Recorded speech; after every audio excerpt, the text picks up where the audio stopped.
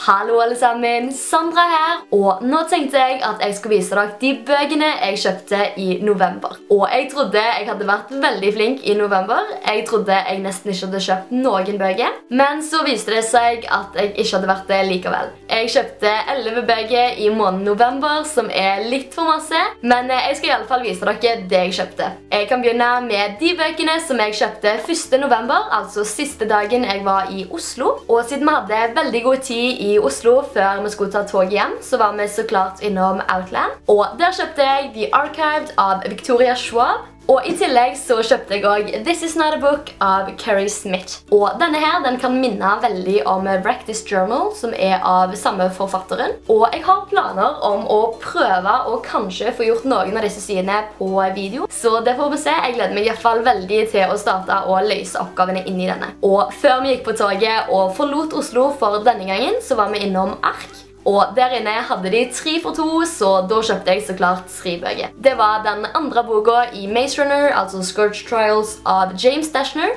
Jeg leste The Maze Runner for eh, en god stund siden, og når han var på kino, så så jeg han to ganger. Så jeg hadde veldig lyst til å fortsette i serien, og derfor så kjøpte jeg toen, altså den andre boka. Og så kjøpte jeg også Attachments av Rainbow Revelle og One Day av David Nichols. Når jeg kom hjem fra Oslo, så klarte jeg meg nesten hele måneden uten å kjøpe flere bøker. Men eh, så var jeg innom Stavanger og Outland, og der kjøpte jeg litt flere bøker. Jeg kjøpte blant annet to tegneserier, det fjerde volumet i The Walking Dead, og og Miss Marvel av Wilson Alfona. Og denne her har jeg allerede lest, og jeg skal snakke om den litt mer i min november wrap-up som kommer veldig, veldig snart. Og siden jeg har bokkort på Outlands, så kunne jeg få 250 kroner avslag på ei bok. Og jeg valgte da å bruke det på denne, altså The Hobbit av G.R.R. Tolkien. Og siden jeg kunne få 250 kroner avslag på den, og den kostet 299, så valgte jeg å bruke det på denne, for den er veldig fin og stor, og jeg har hatt lyst til å lese Hobbiten utrolig lenge. Den er nest siste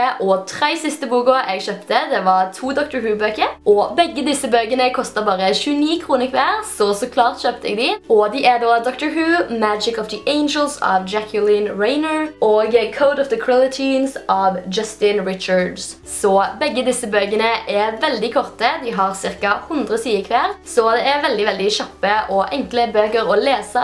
Og jeg elsker Dr. Who, så jeg ville veldig gjerne lese disse, og spesielt siden de var så billige. Helt til slutt så har jeg Hobbiten av G.R.R. Tolkien igjen. Dette her det er den norske versjonen i litt mindre format, så den er mye enklere å ta med seg, og jeg ville ha den på norsk og jeg klarte aldri å bestemme meg. Så jeg endte opp med å kjøpe to av den samme boka på norsk og engelsk før jeg har lest den. Men eh, ja, det er Hobbiten, så jeg eh, håper jeg liker den. Jeg har kommet så langt når jeg filmer denne videoen, og så langt så er den utrolig bra og veldig, veldig kul å lese, veldig kjekk å lese. Kjekk å lese er det riktig riktige ord. Men eh, ja, jeg kjøpte da to versjoner av eh, Hobbiten, og det var alle de 11 bøkene som jeg kjøpte i november. Og nå når jeg har vist dere de alt for mange bøkene jeg kjøpte i november, så kan dere gjerne gå ned i kommentarfeltet. Der nede kan dere skrive hva av disse bøkene dere enten har lest eller har lyst til å lese. Og utenom det så snakkes vi veldig, veldig snart. Ha det bra!